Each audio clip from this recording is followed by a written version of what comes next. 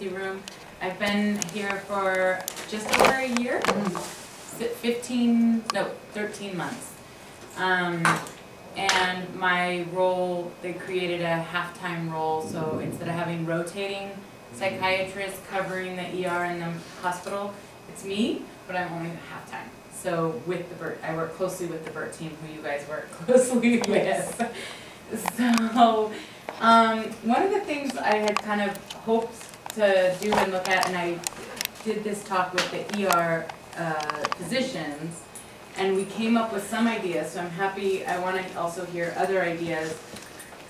Um, and we've been having a slow time implementing, one of the ideas was to create videos, so we could have some consistency and we'll, we'll talk about but visual cues for patients that come in at two in the morning or at nine in the morning, you know, whatever time. But, um, we've been still working on getting that project going, so, um, I think everybody around the, all the people who have my position, I'm on a listserv and everybody kind of talks about the increase in, um, BERT patients waiting for beds in ERs all over. And then especially to, um, for kids with developmental delays that aren't really meeting criteria for psychiatric admission. So, um, we want to better understand about where these challenging behaviors come from, improve the patient's comfort and compliance, and, oh, you guys have them, okay. And then minimize any safety concerns for the staff and the patient, and help organize the patient's encounter. Do you guys do, um, triage in the room or triage in the waiting, like, uh, they go from the waiting area then to triage We have a triage station, station? essentially. Ideally, at triage, we identify, you know, the issues, um, whether it's, um, out of control behavior or where the kid is on the level of autism. Uh-huh, But also if there's any, a child may have autism but ha- coming in from asthma. right, So maybe have other medications that Right. are aggravating the situation. And at triage, normally what happens is that it's a high priority in the sense that if it's a busy waiting area, we certainly don't want this. Usually for these kids, if they're really hyper and anxious, it's better to get in a room as soon as possible, private room, dim the lights, you know, and just kind of Exactly. decrease the stimulation. And also, they don't like, some don't like to be touched, they don't want their clothes to be changed. right, Um, so oftentimes we would bring them back, and, I mean, in the perfect world, we would have a nurse come to triage to bring them back. Um, unfortunately, you know, especially when it's very busy, that's not always possible right away. And then also it's another situation where you really don't want these patients in the waiting area. If I had a kid who had autism, we didn't have a room to give him back right away, and they were, um, kinda like fighting and not sharing the crayons with the other kids sitting, and it was really, um, Disruptive for the whole group. Other parents were really concerned about that, yeah. but, um, so it's, it's really a challenge, but our priority is, is to remove them from the environment and get them to the privacy of a room. And I would imagine most of the time that happens, but Right. if the room's all As- busy, or we have to move a patient to another room to give these patients a privacy, you know, it time to do that. Right, yeah, well, I had asked at UCSF at Mission Bay, and they said that they do the in-room triage, so that, that, like, any patient, no matter what, they're coming in, so that already allows, I think, a different type of, you know, you don't have the waiting area with all the kind of, um, noise and stimulation and all that. Where do they, where do they keep That's because they have like They a have third of the staffing? patient population. Is that what it we is? have. I didn't Yeah. understand how they. Not did even a They have third. staff when you do that. Right, yeah, I don't know what they do, but that's, Yeah. They When I have asked them about uh, this. They have, their triage is a station like ours, but all they do is arrive the patient. And then put them in a room, And then they go directly to a room to 'Cause they have get rooms. their vital signs and everything else. Yeah. Dramatically different than our numbers. Right, right. So these are just going through, thinking about, because like what you said, this talk is really thinking about not the BERTs, because I think we, um, we probably see more kids on the spectrum who are coming in for lacerations, asthma, right, like, in general, so it's kind of thinking about all of the kids, and then like you said, the spectrum is so vast, right, so it might be a lot easier to think about how you would approach a nonverbal autistic kid, but then some of these children who are higher functioning, maybe mainstream, and their impairments aren't as obvious, and then parents often don't disclose autism. They don't So you say, what's so your, true. your child have any medical problems? Like, no. You know, and then, oh, they get all these services to the regional center and all this, but that's not like a, it's not, they're not thinking about it. They're thinking about the broken arm or asthma or whatever. Mhm. So, um, this is just kind of thinking about what the impairments are and how that manifests for us in the, in the room. So social impairments, talking about unusual subjects, repeating the same question over and over again, so you might have answered it already and they're asking it again. Um, not making eye contact, it's hard to tell if they're listening, appearing aloof, failing to directly answer questions, appearing withdrawn, and then sometimes inappropriately excited um, for the situation. And this is just um, a little girl saying that she likes to talk to animals, but not to not to people. Um, so also with communication, they're um, they speak in a kind of monotone, pedantic rhythm. They can use script to converse or answer questions. So I, I worked with the boy when I was an undergrad, and uh, he loved freight trains. And we would go uh, kind of in an area where the trains would come by, and he would always, when he heard the train, he would say, "Are you going to get upset if it's not your favorite train?" Because that was him practicing the script. Whereas, like, I hear the train, I say this to try to calm myself or not to be, or they'll say like, um, you know, "Hello, how are you?" and they'll answer in a way from a TV show or something that's kind of appropriate but not quite typical. Um, unable to understand inferred meanings of idioms or general comments, not able to understand jokes or sarcasm, or in thinking and interpreting words literally. So Amelia Bedelia is the perfect example of this. She was asked to draw the drapes, and the, she drew a picture of the drapes, which is not what the her employer had wanted. So um, having narrow interest in repetitive behavior, strong preferred special interest, um, performing repetitive behaviors. I don't know if you've seen kids with like strings. A lot of times they'll come to my office strings or tape, and they're kind of playing with things in an unusual way. Um, and they have a hard time taking the perspective of others. And then sensory challenges, um, like you were saying about clothing. So um, preferred items are routine for comfort, and I put a tag in there because a lot of them have um, now a lot of clothes are made without tags, which is nice, but the sensitivity to the tags are strings and socks. Um, do our gowns have tags? Do our hospital clothes? It's just a, think a they have do. drawstring. The Side. yeah, the I think they purple do. ones have them, the purple cotton ones. Yes, yeah. Have a string in the back. Oh, have a tag. Have a tag, yeah. Most of the time, I just don't have them Changed, because they don't it's need just Too stressful. Right. So difficulty processing and regulating sensory intake, so they can either be hyposensitive or hypersensitive. So a lot of parents will say, they have a really high pain tolerance. Um, I had a mom who, actually, this kid was in our ER for quite a bit.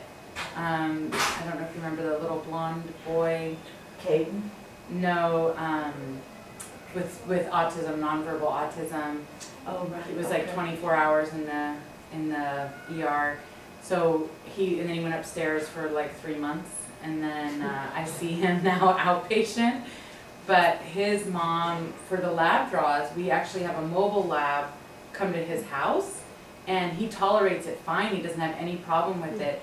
But it's so stressful for him to get into a car, come to the office, have the people, you know, holding him.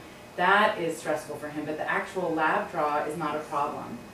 Um, so that he's not sensitive to the pain of the needle, it's more just the, all the stuff that's going on around it. And then executive functioning impairments, so difficulty organizing information and routines, preferring structure and sameness, not understanding abstract concepts and thoughts.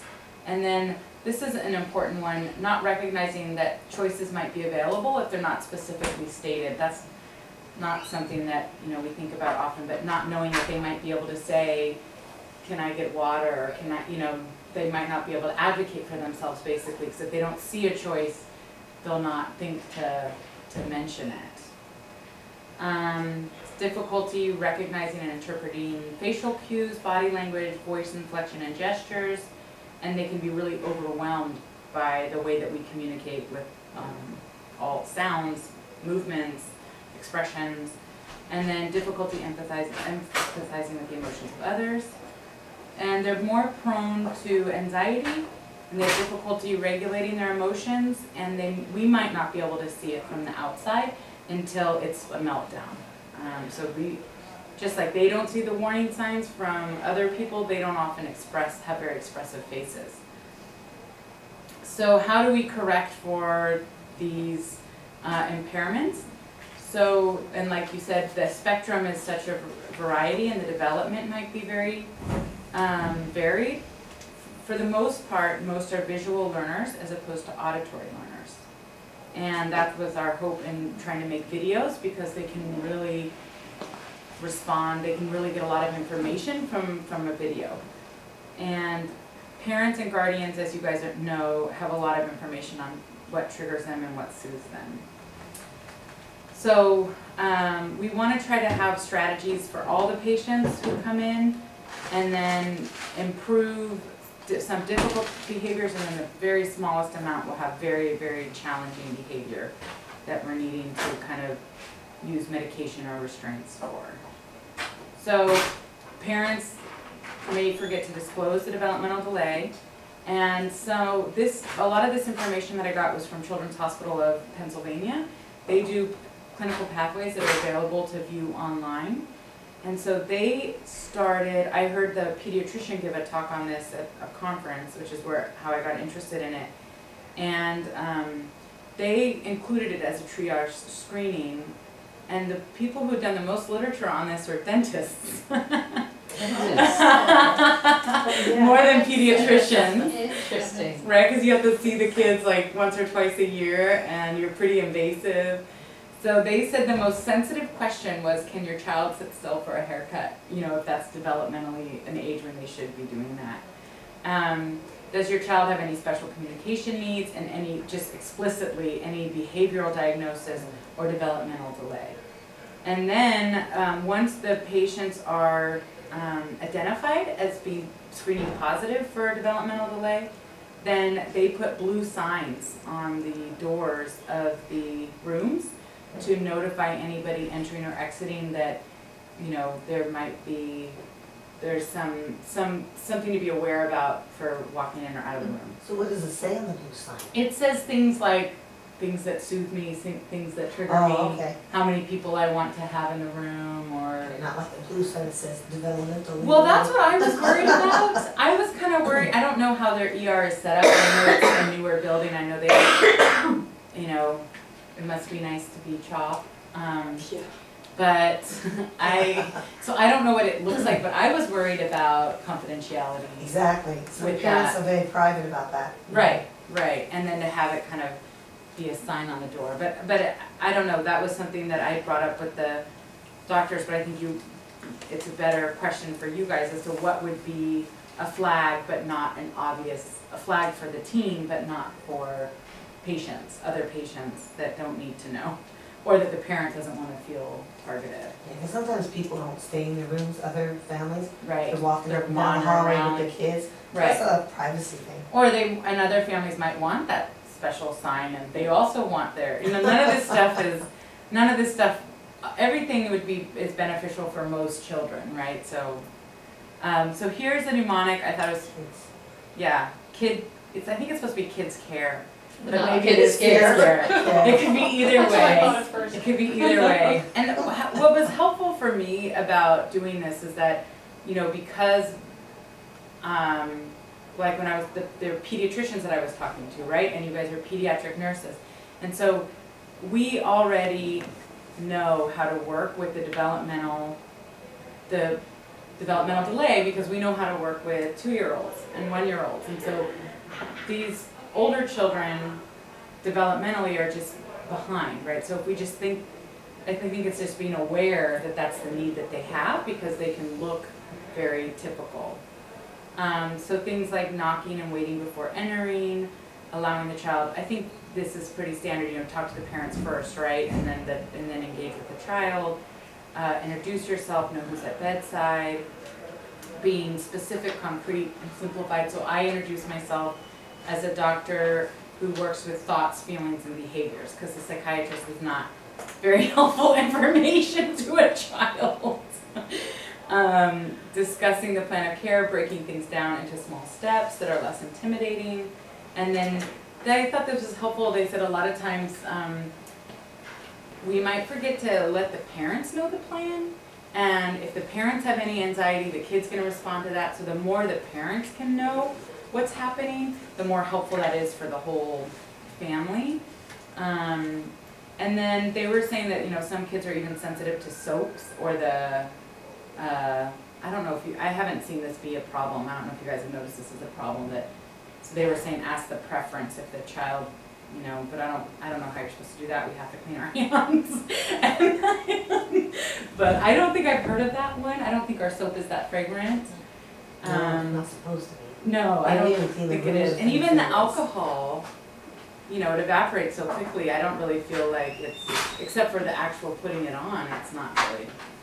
Um, and then, I don't know if you guys move the ID band around, if they're sensitive to it on their wrist or their Put on the ankle. ankle, Yeah, you can't see it.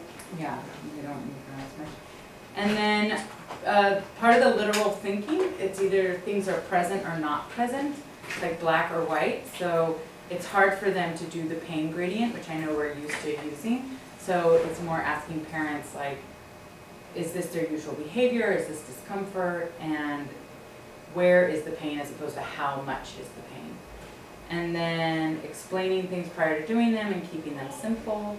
Just some other, these are all things that, when I read these, I was like, yeah, this is what I learned in my pediatric rotations and how you approach, you know, three-year-olds, four-year-olds, right? You're trying to look in their ears. You can't just shove an otoscope in their ear.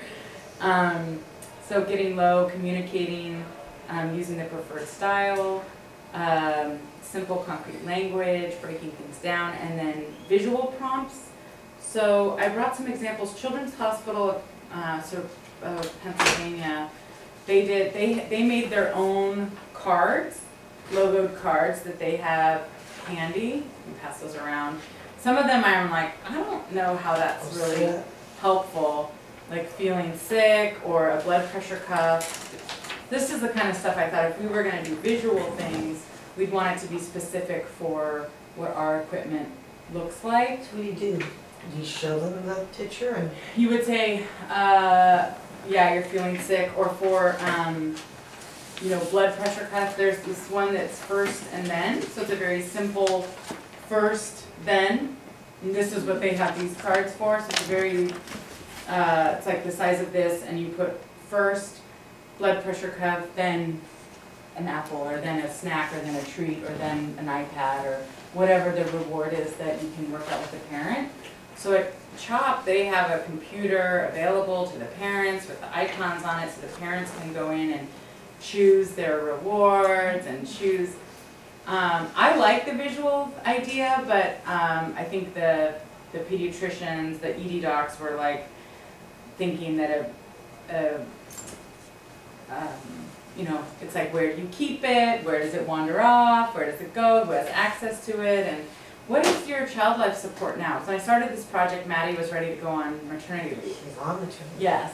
So there's, So We have Temporary. Ryan now. Yeah, we do have Ryan a couple of days a week, but um, we're at least halfway through her leave. She'll be Yeah. back before we know it, I think. that's part of the reason we've had a pause on the videos because I've been having a hard time.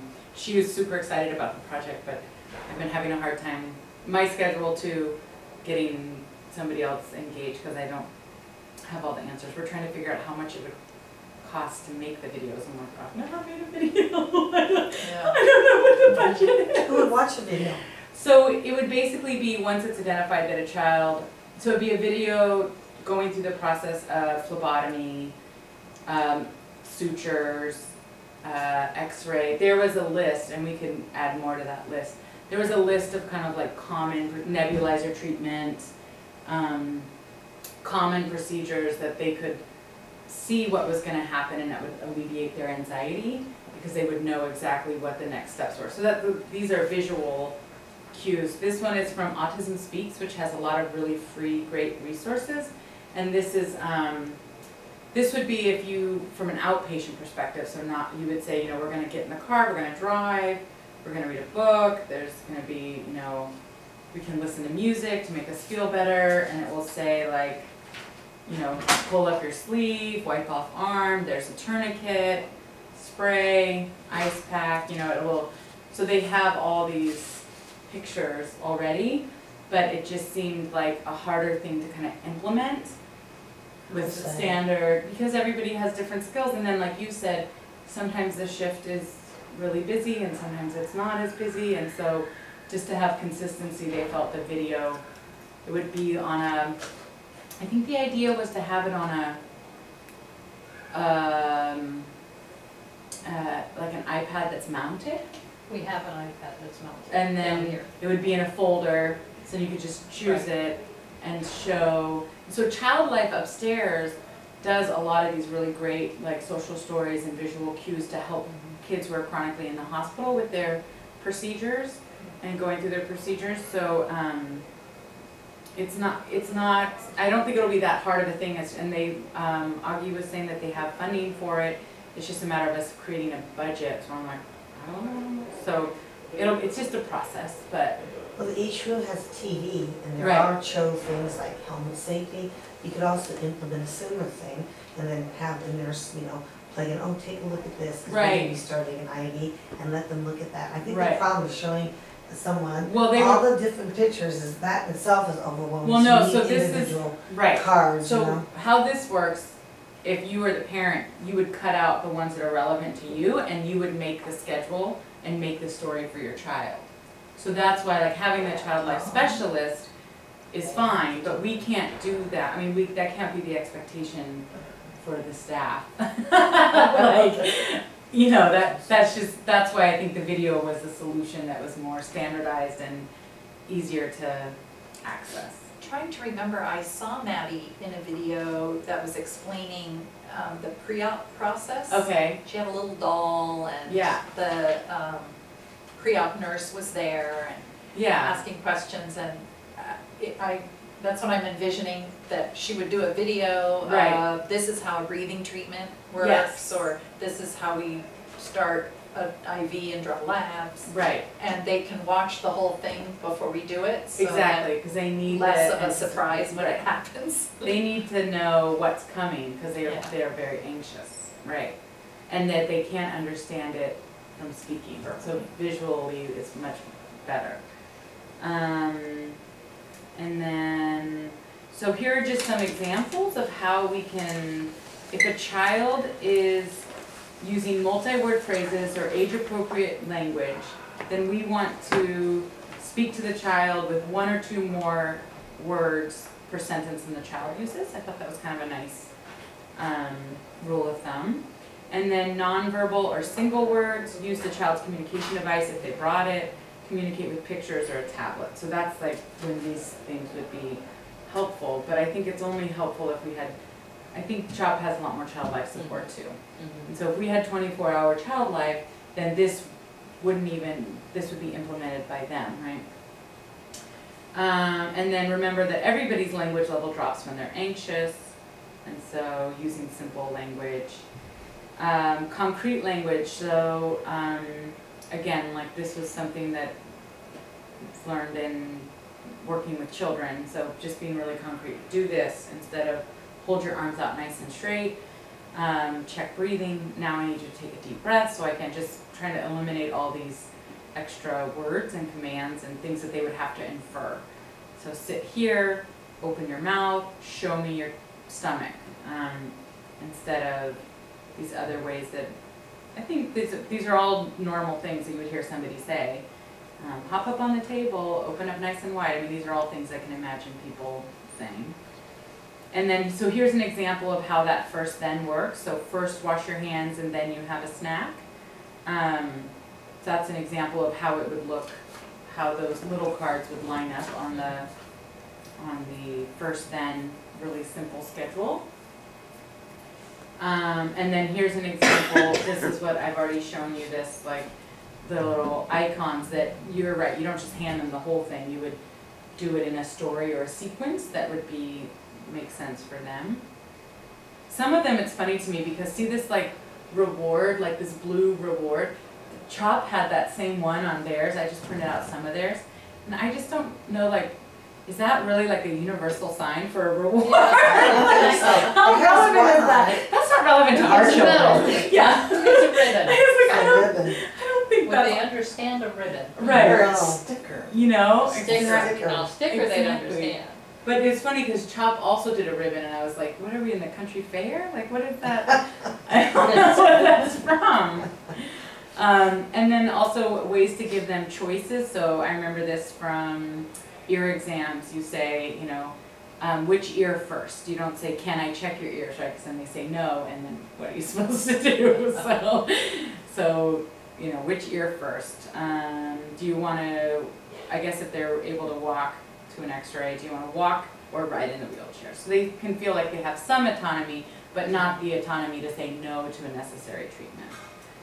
Um, so this is what we were saying, being aware of tags on clothing, maybe let them wear their home attire, which is, sounds like what happens here. Um, and then I like this, I said change the bulbs if possible, but I don't think that's gonna be possible. Can you guys dim the lights or is it just on off? No, we can In, do it, in we all just the, shop. in the switches. rooms, in the rooms, there are not There's dim. you, they're not Sometimes you dimmable, can but turn- there's two switches that, Usually, and so you can dim, you can shut off one and it darkens the room a little. Okay, so. you're Otherwise, off- if you turn both off, the room would be dark, I mean, it's unsafe there, you know. Yeah, they are talking about letting the kids wear baseball caps, sunglasses, um, hearing muffling Headphones? headphones, They come yeah. in with that though, and Yeah. notice the families are on top of They'll- that, they'll the bring glasses, the music, headphones, Yeah. things like that. Um, and then as possible, like we said, depending on what the ER looks like, um, rooms in quieter corners, streamlining staff contacts, minimizing the number in the room, consistent contact. At CHOP, they said that they've been able to manage it so that the whole BERT team relevant players, so let's say the pediatrician has to do medical assessment and the there's a nursing assessment and there's a psycholo- psychological psychological assessment that they actually try to go in all together and do the assessment as quick as possible. Which here it's saying don't go in all together, but I think it just depends on what that, how many times you're asking the child the same information. Um, but I think our process is a little bit different as well. Um, and that's for patients that are primarily psychological patients rather than like this might be a child with autism who has asthma. Um, parents will know about food preferences. This, I, I actually hadn't thought about this until doing this talk because I also work with the kids in the hospital, but trying as best as we can, as formulary allows, to have home medications be the same as what they are. So like if they take syrup at home, syrup in the hospital, pills at home, pills in the hospital. Um, and like we had mentioned before, this assessment is gonna be difficult for them. So you ask if it's where it is, if it's present or not, and if the parents can tell you if it indicates distress from baseline. And then, um, as best we can, and this is when child life can be really helpful, especially on the floors, them make schedules, structuring tasks and times, positive reinforcement, praise, uh, treats if it's appropriate, um, access to favorite items, reward with short breaks, distractions, give choices. So this schedule would be too abstract for a child on the spectrum. Get up, be amazing, go back to bed. That's not, that's not enough structure. So, um, this is not as relevant for the ED because they've already arrived. Sometimes I think maybe kids do come for planned ER visits, so just trying to do that when it's not their nap time, or maybe when it is their nap time, depending on what, what will need to be done. Um, as best that we can, reducing wait times, minimizing repetitive evaluations, um, informing family and patient of the plan, using child life, making environmental changes, planning ahead, allowing time, using parents as models, so that's like you could put the blood pressure cuff on the parent before you put it on the child, or I used to check the parents' ears before I would check the child's ears. It was always so traumatic for three-year-olds to get their ears checked.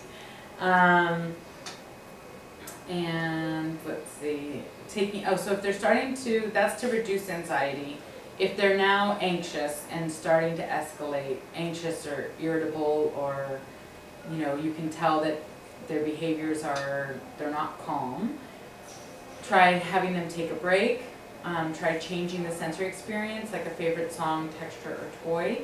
Child Life is gonna be bringing in, they got it approved, what is this thing called? I forget what it's called, but it's this machine that has like fiber optics on it and it has a light projector and it's basically a really good distraction and it's used for even adults with special needs. Um, and you can either play music or not play music. It's interesting because some of this stuff seems contradictory, like decreased stimulation, but then if you look at this thing, it seems really overstimulating. But I guess it's the way like it can project like um, fish on the wall. to You make can it have look one of those up in CT, Yeah, where they project like just di- different images and they just Right. go around in a circle. Yeah, so they have Just one of these. repetitive type of thing. They're trying to figure out, I think if they are gonna get two smaller mobile ones or one bigger, less mobile one. But it's all approved and it will be coming at some point. But that's again, something that Child Life ha- uses, right? And then sometimes having another staff member might be helpful and to give the staff a break, because it's not very pleasant to always, you know. I don't, I think it's really hard when you can't soothe a child in kind of a, a typical way. I remember when I was in an inpatient psych unit, we had a boy with autism who needed a, an EEG, and he was just inconsolable. And, you know, it didn't matter what mom did or what we did, he just cried for his whole EEG. And it, it was really exhausting and frustrating to not be able to help him feel better. Um, and then, um, if there's no risk of injury or danger, um, try to ignore behaviors that are meant to get attention, that aren't, um, good behaviors. It's helpful just to kind of talk to the parent and act like it's not happening. I think sometimes what happens is the parents get really worried about those behaviors and they start giving it a lot of attention. And it's harder in that situation for us to say like, oh, actually, let's just ignore this. Um, and then providing structure, changing the environment as best we can. Um, I don't know, I imagine most parents probably use screens, that's probably the most preferred act, activity or uh, distracting activity. Um, slowing down, doing things more slowly, simplifying things, this is, it's pretty repetitive. Um, so now if they're aggression, if they're aggressive, so like head banging, throwing things, biting,